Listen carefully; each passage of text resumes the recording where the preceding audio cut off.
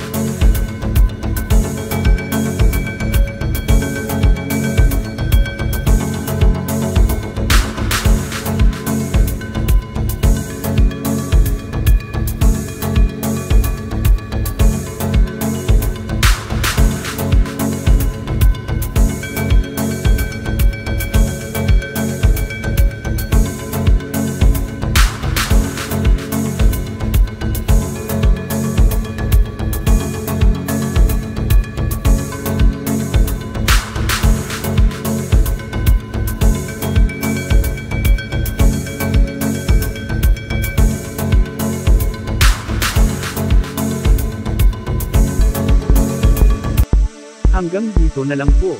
Mag-subscribe, like, share, at comment, at turn on notification.